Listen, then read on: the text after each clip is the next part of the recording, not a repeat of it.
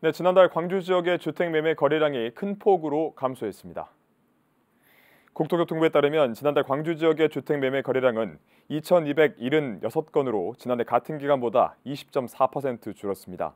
또 이는 지난달보다도 7.6% 감소한 수치입니다. 한편 전남 지역의 주택 매매 거래량은 2,452건으로 지난해보다 6.4% 증가한 것으로 조사됐습니다.